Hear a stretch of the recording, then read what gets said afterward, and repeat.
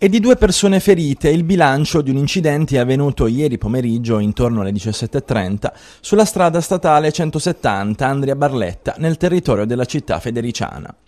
Due anche i mezzi coinvolti, una Ford di colore scuro guidata da un 45enne andriese ed un furgone condotto da un settantenne sempre di Andria.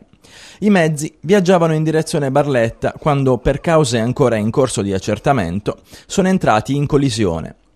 Sul posto sono intervenute due ambulanze del 118 che hanno trasferito i feriti in codice rosso negli ospedali Bonomo e di Miccoli.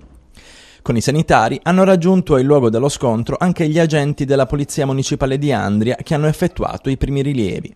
Il traffico, rimasto bloccato per diversi minuti sino alla rimozione dei veicoli incidentati, è stato deviato sulla complanare.